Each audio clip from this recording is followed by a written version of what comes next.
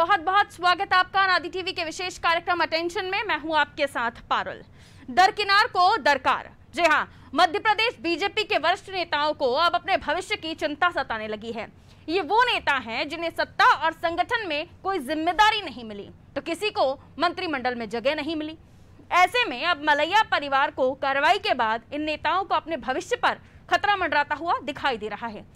कोई जनसंघ की दुहाई दे रहा है तो कोई कांग्रेस के जी तेईस नेताओं की तरह पार्टी के शीर्ष नेतृत्व को नसीहत देता नज़र आ रहा है। मतलब साफ़ है, दमोह उपचुनाव में हार और मलैया परिवार पर कार्रवाई के बाद पार्टी दो गुटों में बच गई है। आज हम बीजेपी के वरिष्ठ नेताओं के भविष्य पर ही बात करने की कोशिश करेंगे। आखिर इन दरकिनार नेताओं को अब किस बात की दरकार है? लेकिन उससे पहले आप ये रिपोर्ट देख लीजिए।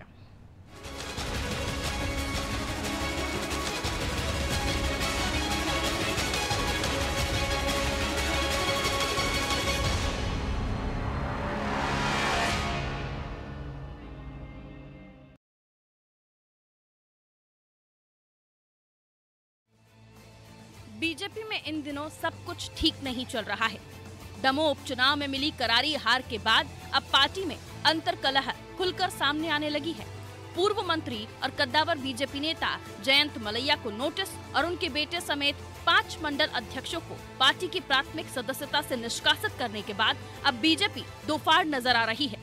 एक तरफ़ वो नेता हैं जो पार्टी से दरकिनार चल रहे हैं और जनसंघ की दुहाई देते हुए इस कार्रवाई को गलत बता रहे हैं। तो दूसरी तरफ़ का खेमा इस कार्रवाई को सही बता रहा है। पहले पूर्व मंत्री अजय बिश्नोई फिर पूर्व गृह मंत्री हेमंत कोठारी और अब बीजेपी की वरिष्ठ नेत्री कुसुम महदेले और ब्रजेंद्र सिंह सिसोदिया भी जयंत मलैया के पक्ष में उतर आए हैं। महदेले ने ट्वीट कर कहा, मलैया जी और सिद्धार्थ पर आरोप प्रत्यारोप कतई उचित नहीं है। उन्होंने लिखा कि जयंत मलैया को नोटिस और सिद्धार्थ मलैया की सदस्यता समाप्त करना दुर्भाग्यपूर्ण है। कुसुम महदेले यही नहीं रुकी। उन्होंने इसके बाद अपनी ही पार्टी और सरकार पर ही निशाना साधते हुए कहा। उपचुनाव करवाना भी उचित नहीं था। उधर बीजेपी के नेता विजेंद्र सिंह सिसोदिया के सपने में एक श्वेत वस्त्रधारी बाबा आते हैं और उनसे पूछते हैं कि तुम्हें जनसंघ के रास्ते वाली भाजपा चाहिए या कांग्रेस के रास्ते वाली? सिसोदिया ने इस बात को ट्वीट करके भी साझा किया है।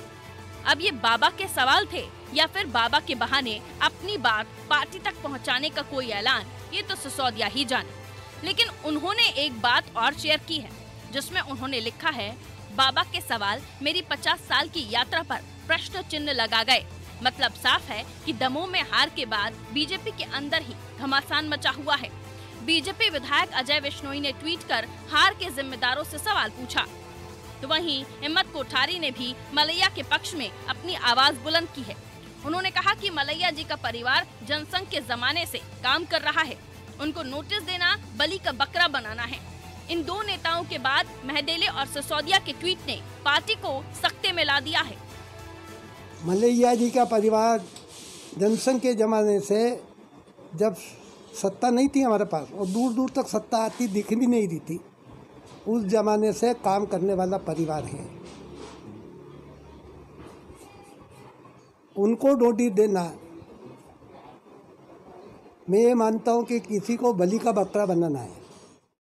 दमोह विधानसभा उपचुनाव के परिणाम के बाद भारतीय जनता पार्टी में जिस तरह की हाहाकार मचा है उससे स्पष्ट है कि भारतीय जनता पार्टी सत्ता की भूखी और सत्ता की लोभी पार्टी है। एक उपचुनाव हारने के बाद जिस तरह से उन्होंने अपने ही कार्यकर्ताओं पर, अपने ही नेताओं पर, अपने ही वरिष्ठों पर कार्रवाई करना शुरू किया है, उसके अब खुल के दुष्परिणाम सामने आने लगे हैं। अजय बिशोई जी ने कहा कि जयंत मलिया पर कार्रवाई क्यों की, उनके पुत्र की, जिन लोगों ने वहाँ प्रभावित थे या जो वहाँ पर टिकट है, उनको क्यों नहीं की? और आज इसी कड़ी में वरिष्ठ नेता पूर्व मंत्री कुसुम हैदर जी ने भी कहा है कि रूप से पुराने वरिष्ठ लोगों का अपमान कर रही है भारतीय जनता पार्टी और भारतीय जनता पार्टी को इस बात पर विचार करना चाहिए, विश्वजीत जी का सही है। साफ़ है कि भारतीय जनता पार्टी हमेशा वरिष्ठ लोगों का अपमान करती रही है, चाहे लाल कृष्ण अडवाणी जी रहे हों, मुरलीधर जोशी जी हों, यशवंत सिन्हा हो, चाहे और भी कई नेता रहे हों। ऐसा लगता है कि भारतीय पार्टी के जो नेता है आज तारीख में, वो सत्ता लोभी है और सत्ता के अलावा और किसी के सम्मान की आवश्यकता नहीं दमों की हार के बाद जो नेता सवाल उठा रहे हैं, एक तरह से वो पार्टी से दरकिनार चल रहे हैं। विधायक अजय विश्नोई का मंत्री बनने का सपना टूट गया। कुसुम महदेले, हिम्मत कोठारी और विजेंद्र सिंह सिसोदिया को सत्ता और संगठन में जगह नहीं मिली। जिस तरह दमोह में हार और मलैया परिवार पर कार्रवाई हुई, इन नेताओं को बोलने का मौका मिल गया। या यूँ कहें कि कांग्रेस के जी तेईस के नेताओं की तरह अब ये नेता पार्टी के शीर्ष नेतृत्व को नसीहत देते नज़र आ रहे हैं। मलैया परिवार पर कार्रवाई के बाद पुराने नेताओं को अपने भविष्य की चिंता सताने लगी है। और वो अपने भविष्य के लिए अभी से आवाज़ उठाने लगे हैं। लेकिन बीजेपी प्रदेश संगठन के लिए दमोह की हार सिर्फ़ एक अंगड़ाई थी। 2023 में होने वाले विधानसभा चुनाव तक ये टकरार सिंधिया समर्थकों को लेकर और भी बढ़ सकती है, जिसके लिए पार्टी को अभी से प्लान तैयार करने की ज़रूरत है। Bureau report, Anaadi TV.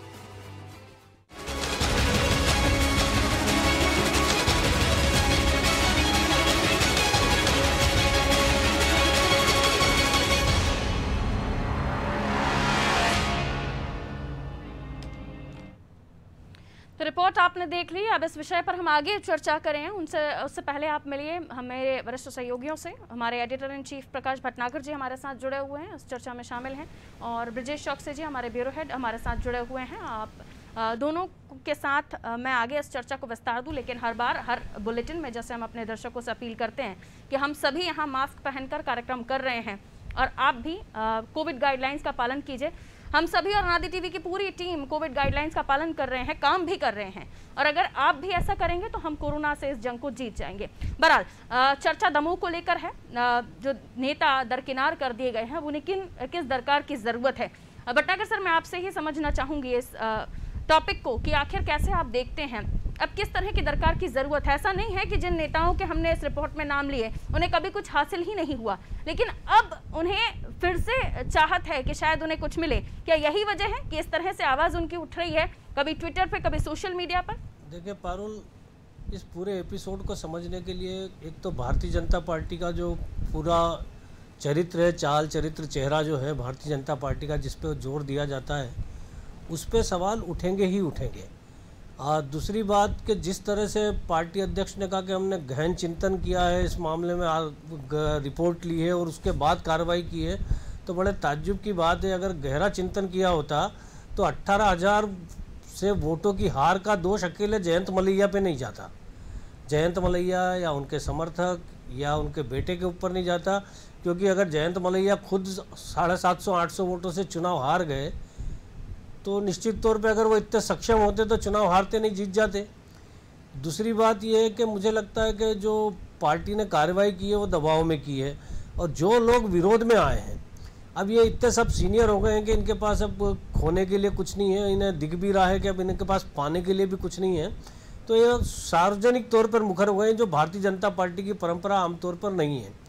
लेकिन भारतीय जनता पार्टी जब से सत्ता में आई है उसमें एक बड़ा बदलाव ये भी आया कि लोगों को अपनी बात खुल के रखने के लिए यदि सत्ता या संगठन के शीर्ष नेतृत्व के खिलाफ कुछ बोलना हो तो बोलने का कोई मंच उपलब्ध नहीं है आज की तारीख में। आप जाके या तो संगठन महामंत्री से बात कर सकते हो, जो आपके और संगठन महामंत्री के बीच की हो सकती है, या आप प्रदेश अध्यक्ष की बात कर सकते हो। पहले जो पार्टी की कार्य समिति हुआ करती थी, बीजेपी की, एक तो वो रेगुलर हुआ करती थी तो कोरोना काल में उसकी रेगुलरिटी नहीं हुई। दूसरी बात जब से सत्ता में आया वो तीन दिन की बजाय दो दिन की हो गई और उसमें दो घंटे का एक खुला सत्र पहले हुआ करता था जिसमें लोग खुल के अपने विचार पार्टी फोरम पे रखते थे।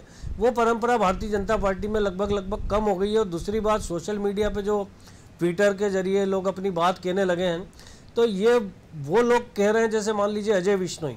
अजय विश्नोई विधायक हैं पिछली बार मंत्री भी थे शिवराज सरकार में भी मंत्री रहे तो मुझे लगता है कि अब उन्हें लग रहा है इस बार कि वो मंत्री नहीं बन पाए हैं उनकी सीनियरिटी है लेकिन कांग्रेस के ही तेरह चौदह लोग सरकार में मंत्री बने जो कांग्रेस से बीजेपी में आए थे। जी। तो एक स्वाभाविक से भारतीय जनता पार्टी के कई लोगों को अपना हक छोड़ना पड़ा। वो भारतीय जनता पार्टी ने इस बात को माना कि ये सरकार बनी इसलिए है हमारी क्योंकि कांग्रेस से जो लोग आए उनके कारण। तो वहाँ से लेके यहाँ तक लेकिन कुसुम महदले ने जो सवाल उठाया कि दमोह में उपचुनाव कराने की ज़रूरत क्यों पड़ी?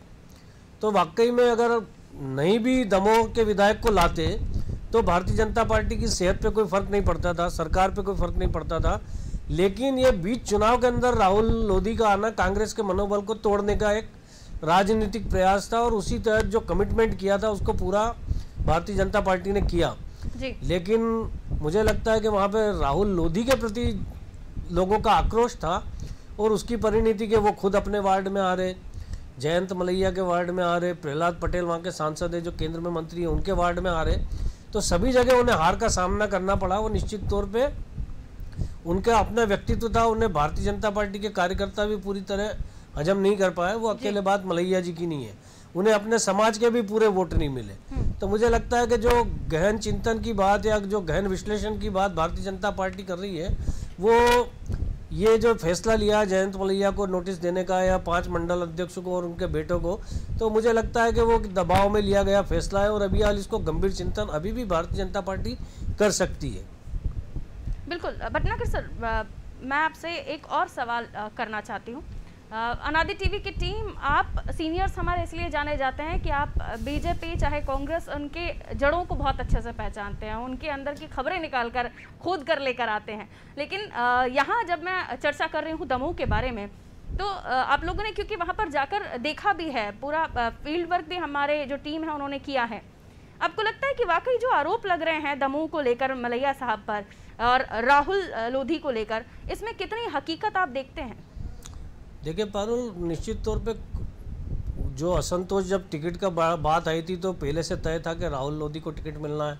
ये तो मलैया जी को भी पता होगा उन्होंने 28 उपचुनाव को देखा था। जी। लेकिन फिर भी उनके बेटे ने वहाँ पर टिकट मांगा था और राहुल लोधी को भारतीय जनता पार्टी ने जब विधायक पद से कांग्रेस से इस्तीफा दिया था तो एक निगम मंडल का अध्यक्ष बना के राज्य मंत्री का दर्जा दे दिया था।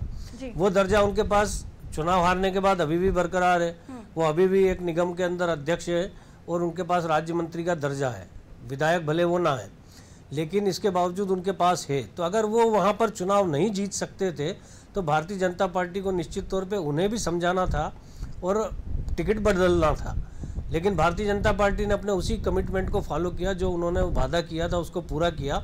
भारतीय जनता पार्टी ने अपनी पूरी ताकत लगाई। प्रदेश अध्यक्ष वी शर्मा ने पूरे समय वहाँ पर काम किया। जयंत मलैया को मनाने के लिए सीएम गए। फिर जयंत मलैया ने भी काम किया। सिद्धार्थ को, उनके बेटे को वहाँ का शहर का प्रभारी बनाया गया। तो शहर के अंदर हार का जो दोष राहुल लोधी, सिद्धार्थ मलैया को दे रहे हैं तो उन्हें इस बारे में भी विचार करना चाहिए था कि वो आखिर अपने बूथ पे कैसे हार गए। बिल्कुल।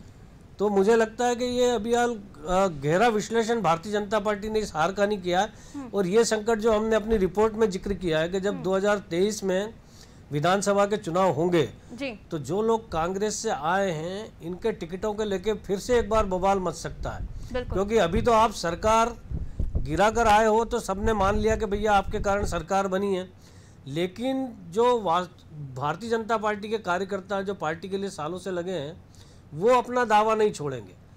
तब यदि पार्ट भारतीय जनता पार्टी गुण दोष के आधार पर जो कांग्रेस से आए लोग हैं इनके टिकट या तो काट सकती है या लोगों को मना के या उनका प्रभाव देख के टिकट देती है तो तो इनमें असंतोष होगा कांग्रेस से जो आए हैं। हम्म।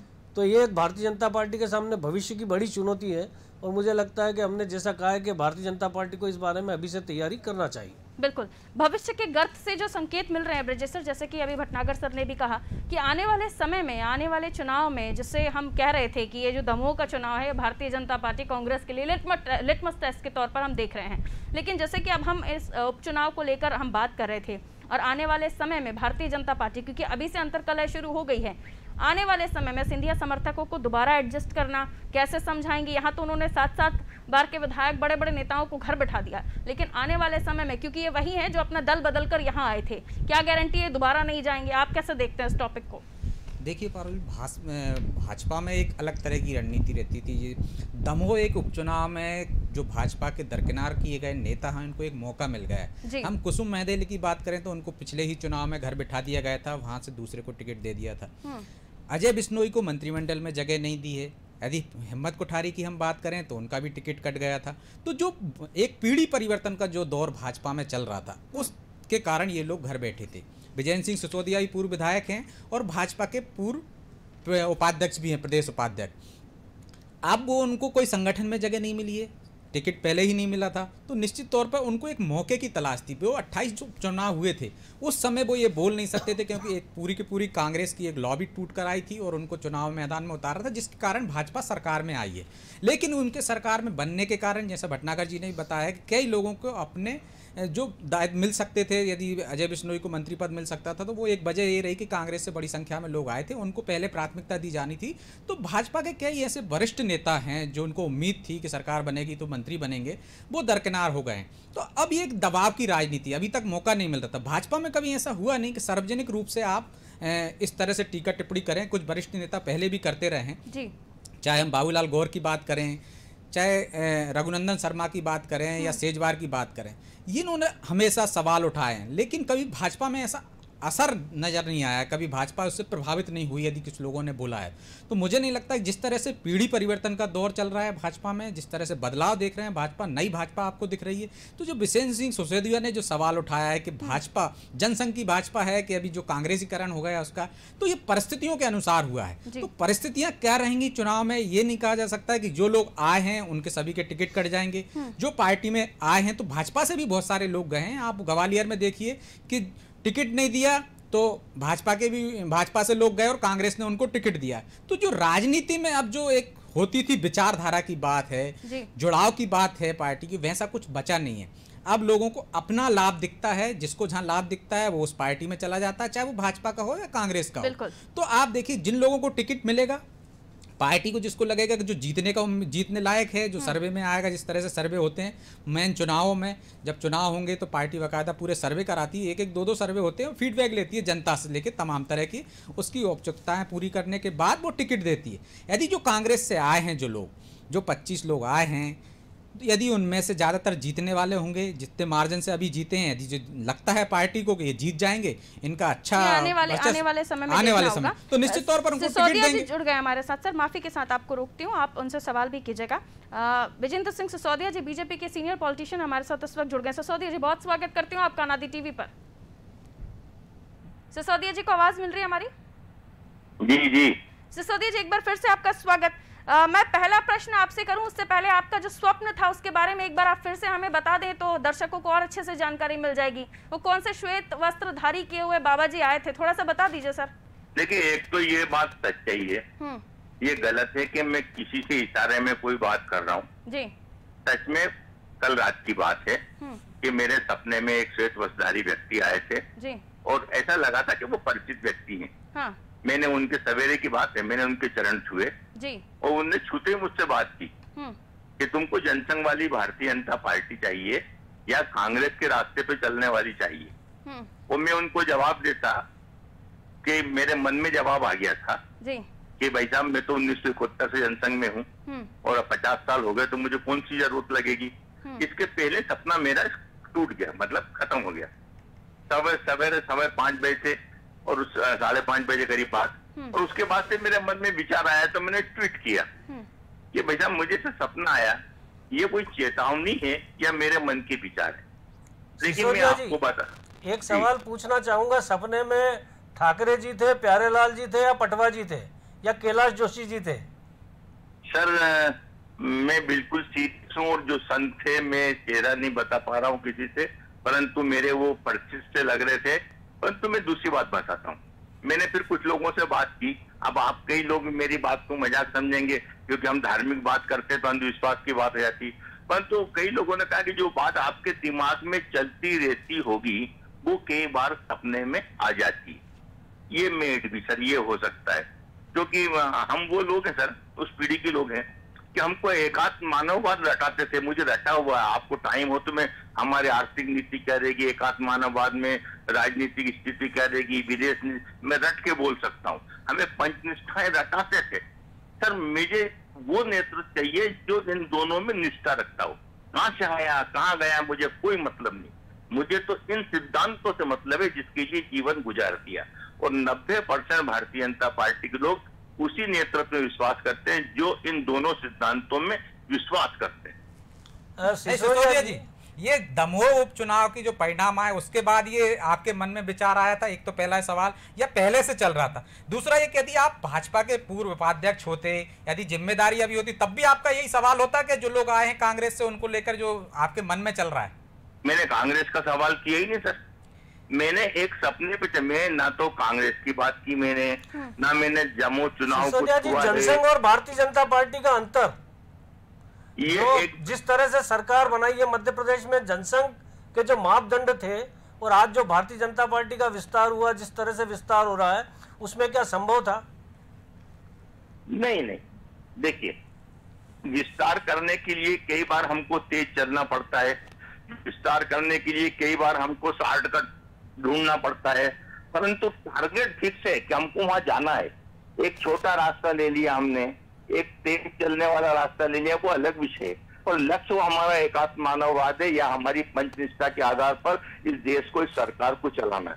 टारगेट में गड़बड़ नहीं होना चाहिए। इस टारगेट तक पहुँचने के तरीके में समझौता हो सकता है। तो आपको लग रहा है कि केंद्र सरकार का और राज्य सरकार का टारगेट बिल्कुल सही है? मैं यही मानता हूँ, आज जो नेतृत्व बैठा है, वो तो एकात्म मानववादी बैठा है। उसमें कोई दिक्कत नहीं है कि दोनों जो प्रदेश, राष्ट्र के लोग बैठे हो चाहे प्रदेश के लोग बैठे हैं, उसी लाइन के हैं, उसी विचारधारा विचारधारा के हैं। मैं इन पे कोई ब्लेम नहीं लगा रहा हूँ, कोई उंगली नहीं उठा रहा हूँ। मेरे मन में विचार आ रहा था कि जो भगदड़ है, आ रहे हैं, जा रहे हैं, इनको ये ये रटाएँगे कैसे? सारी बातें ये कैसे इनको सिखाएँगे? या इतने साल की उम्र में इनकी निष्ठाएँ कैसे एकात्म मानववाद के प्रति होगी? ये उथल पुथल मन में चलती थी। परंतु जहाँ पे नेतृत्व का सवाल है सेंट्रल का हो चाहे प्रदेश का वो तो जनसंघ वाला नेतृत्व है। तो फिर तो कोई दिक्कत ही नहीं होना चाहिए ना। वो तो यदि जो भीड़ में यदि कोई दो लोग ऐसे आ जाते हैं तो वो वैसे ही हो जाएँगे। कहते हैं संगत का असर हो जाता तो आपको ये शंका क्यों हो रही कि वो संगत में आ गए हैं तो उनको असर नहीं ला, ला पाएगी भाजपा? सर मुझे कहा संकट है? मुझे एक सपना आया मैंने उसका ट्वीट किया।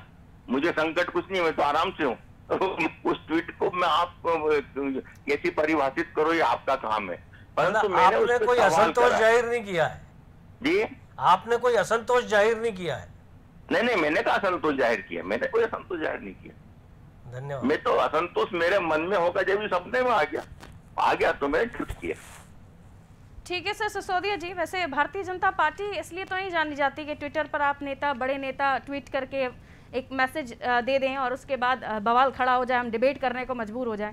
खैर, बहुत शुक्रिया सिसोदिया जी हमारे साथ जुड़ने के लिए। तो एक थोड़ा सा जो परिवर्तन आया है आज इस नए लोगों के जुड़ने के बाद या पार्टी में, वो लोग भी बदले हैं। शुरुआती दौर में भी हमने देखा था किस तरह से ये बदलाव आया था। खैर, वापस आती हूँ दमू को लेकर ही। बट अगर सर, यहाँ कुसुम महदेले जी और हम अगर बात करें उमा भारती जी, प्रहलाद पटेल जी, आपको लगता है कि भारतीय जनता पार्टी के ही लोधी फैक्टर वाले नेता इस वक्त बटे हुए दिखाई दे रहे हैं और इसका आगे नुकसान पार्टी को क्या भुगतना पड़ेगा? देखिए, मुझे लगता है कि निश्चित तौर पे भारतीय जनता पार्टी में असर पड़ेगा। वहाँ पर पूरी कमान प्रहलाद पटेल ने भी संभाली थी। दमोह उपचुनाव में उमा भारती भी वहाँ पर प्रचार के लिए गई थी। कुसुम बहदेल ज़रूर प्रचार के लिए वहाँ पर शामिल नहीं हुई थी जी। लेकिन उमा भारती और प्रहलाद पटेल दोनों प्रभावशाली राजनेता हैं मध्य प्रदेश के हम्म। और उसके बावजूद यदि अट्ठारह हज़ार वोटों से आप हार रहे हो तो जयंत मलैया का भीतरघात अकेला भारतीय जनता पार्टी को नहीं हरा सकता जी। तो मुझे लगता है कि कहीं ना कहीं जो भी डिसीज़न भारतीय जनता पार्टी ने लिया है हम्म। और जिस तरह से लोग हालाँकि जो लोग बोल रहे हैं उनका हम कह सकते हैं कि ये एक थोड़ी सी कुंठा है। सरकार में या संगठन में या कहीं आपको ज़िम्मेदारी नहीं मिली है तो उसकी एक कुंठा कह सकते हैं कि आप उसको सार्वजनिक कर रहे हो। लेकिन जो सवाल उठा रहे हैं, उन सवालों को आप नकार भी नहीं सकते। ब्रजेश सर सवाल तो कई उठ रहे हैं, लेकिन अब जब बात आ गई है कि आने वाले समय में, क्योंकि सभी नेताओं से मिलकर तो भारतीय जनता पार्टी को पहचान मिलती है, लेकिन अगर नेता इस तरह से अभी से बट रहे हैं, अंतरकला हो रही है, लोधी वोटर खास तौर पर जिसको लेकर फोकस किया जाता है, वो अगर अलग अलग गुट के नेताओं के साथ बट जाएँगे तो आने वाला भविष्य भारतीय जनता पार्टी का कैसा होगा? देखिए पारुल, राजनीति में हमेशा ये होता है कि जो लोग जिसका नेतृत्व करते हैं, जिस समाज के पैरोकार करते हैं, वो वहाँ के बड़े नेता होते हैं। वो कभी भी नहीं चाहते हैं, चाहे राजनीति में जो बड़े पदों पे पहुँच गए, वो नहीं चाहते हैं कि सेकेंड लाइन ऐसी सक्षम आए कि उनको खतरा हो। तो यदि हम समाज वाली राजनीति में भी इसको देखें तो बहुत सारे समाज के नेता नहीं चाहते हैं कि कोई नया यूथ उनके समाज में आए और वो उनकी जगह ले ले आगे चल के। तो क्यों नहीं एक वजह ये भी हो सकती है कि यदि लोधी वोट बैंक की हम बात करें, कुसुम मेहदे भी लोधी समाज से आती हैं, वो जयंत मलैया के साथ खड़ी हैं, लेकिन प्रहलाद पटेल और उमा भारती राहुल के साथ खड़े हैं। तो कहीं ना कहीं ये समाज में भी एकता का संदेश नहीं गया है एक तरह से। या समाज के वोट, यदि ये बड़े नेता थे, लोधी समाज के, उमा भारती और प्रहलाद पटेल तो निश्चित तौर पे वो चाहते तो पूरा का पूरा एक मुस्त वोट जा सकता था। लेकिन कहीं ना कहीं नेताओं में ये रहती है कि यदि नई पीढ़ी का जिस तरह से भाजपा में पीढ़ी परिवर्तन का दौर आ रहा है तो यदि नई पीढ़ी के युवा आएँगे आगे तो एक समय ऐसा आएगा कि जो बड़े नेता हैं ये भी पिछहत्तर प्लस में और जिस तरह से जो दरकिनार कर दिए गए नेता इनकी भी बारी आएगी और ये भी दरकिनार कर दिए जाएँगे। तो वो भी एक वजह हो सकती है और अभी तक भाजपा संगठन ने जैसे कि वहाँ पर गोपाल भार्गव को प्रभारी बनाया था भूपेंद्र सिंह को प्रभारी बनाया था उनसे पूरी फीडबैक नहीं लिया पूरी रिपोर्ट नहीं ली और जल्दबाजी में मुझे लगता है ये प्रेशर में, जैसा कि भटनागर जी बता रहे थे, उस हिसाब से निर्णय निर्णय लिया गया, पाँच लोगों को हटा दिया, जयंत मलैया के बेटे सहित निष्कासित कर दिए गए। मलैया पे अभी तलवार लटकी हुई है, उनको दस दिन का समय दिया है। तो पार्टी में जिस तरह से बगावत हो रही है, दमोह में हम देख रहे हैं कि ज़िले की कमेटी के एक उपाध्यक्ष ने, भारतीय जनता युवा मोर्चा के उपाध्यक्ष ने कहा है कि वो भी इस्तीफा ले लें। पार्टी, जिला मंत्री ने कहा है कि हम भी सोशल मीडिया पे जिस तरह से एक वो चल रहा है, कि दमोह में भी दो गुट दिखाई दे रहे हैं। तो निश्चित तौर पर इसका असर होगा और पार्टी देख रही होगी। तो अभी पार्टी के पास दो विकल्प हैं। या तो वो जयंत मलैया को नोटिस देके नोटिस जो दिया है उस पर चेतावनी देकर उनको वहीं पे मामले को ठंडा बस्ते में डाल दिया जाए और अगले चुनाव तक वो ठंडा हो जाएगा। और दूसरा ये है कि यदि वो उनको भी उन पर भी कार्रवाई करती है तो निश्चित तौर पर आगे और बवाल देखने को आपको मिल सकता है। भटनागर सर दो बातें मैं चाहूँगी संक्षेप में आपसे जवाब मिल जाए उन बातों का, क्योंकि महत्वपूर्ण है। कि हमने देखा कि तमाम जगहों से मलैया साहब पर ही ठीकरा फोड़ा गया, लेकिन हमने देखा कि भारतीय जनता पार्टी ने पूरी फौज लगा दी थी दमोह में। उन्हें सीरियस लिया गया था दमोह उपचुनाव को, ये कहीं से कहीं तक नकारा नहीं जा सकता, जिस तरह से प्रचार प्रसार हो रहे थे।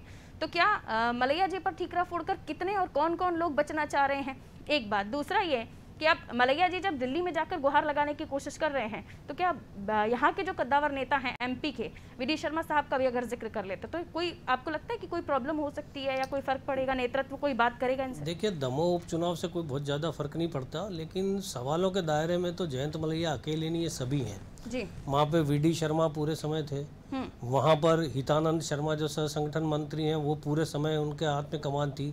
भूपेंद्र सिंह थे गोपाल भार्गव थे इसके अलावा प्रहलाद पटेल पूरे समय चूँकि वहाँ के सांसद हैं और उन्होंने भी पूरा समय दिया वो भी मौजूद थे। जयंत मलैया को आपने कुछ समय मना के वापस लाए थे तो उन्होंने पार्टी का काम किया उनके बेटे को शहर का प्रभार दिया। हम्म। तो उनके साथ एक पुराने संगठन महामंत्री शैलेंद्र बरुआ को भी साथ में लगाया आपने। हम्म। तो जब इतनी सारा चौकस इंतज़ाम था और उसके बाद यदि राहुल लोधी अट्ठारह हज़ार वोटों से चुनाव हार रहे हैं तो आप मैं जो फिर पहले भी कह चुका हूँ अभी भी कह रहा हूँ कि ये अकेले जयंत मलैया के बस की बात नहीं हो सकती हम्म। ये निश्चित तौर पे जनता राहुल लोधी के विरोध में थी जी। ये कांग्रेस के पक्ष में भी बात नहीं है कि कोई कांग्रेस के प्रति अचानक समर्थन उमड़ गया हो लोगों का ऐसा भी कुछ नहीं है या कोरोना के कारण कोई अव्यवस्था मची है उसका भी कोई परिणाम नहीं है ये सीधा सीधा परिणाम राहुल लोधी के प्रति जो नकारात्मक वातावरण उन पंद्रह महीनों में बना जब वो कांग्रेस के विधायक थे हम्म। पहली बार के विधायक थे तो मुझे लगता है कि उस नकारात्मकता का जो असर हुआ वो हमें इतनी बड़ी पैमाने पर हार के तौर पे सामने दिख रहा है। बिल्कुल। बहुत शुक्रिया आप दोनों का हमारे साथ चर्चा में जुड़ने के लिए। जनता जनार्दन है, ये सभी जानते हैं और हर मत एक एक मत बहुत ज़रूरी होता है क्योंकि एक मत से भी जो विधायक है या सांसद है वो बनते बनते रह जाते हैं। वो इसलिए भी ज़रूरी हम कह रहे हैं क्योंकि देखिए भारतीय जनता पार्टी जिन्होंने पूरी फौज लगा दी, हर वो चीज़ करने की कोशिश की जिससे दमोह को जीता जा सके, क्योंकि इस जीत के पीछे के भी कई मायने थे। लेकिन अब हुआ कुछ उल्टा। अब ज़रूरी ये भी है कि जनता इसलिए ताकतवर है कि भले ही कितनी भी कोई भी चीज़ हो, लेकिन जनता के दिल पर अगर आपने राज नहीं किया ना, या जनता के दिल में जगह नहीं बनाई तो जनता चलता करती है। फ़िलहाल मुझे दीजिए इजाज़त, आप देखते रहिए नादी टीवी। नमस्कार।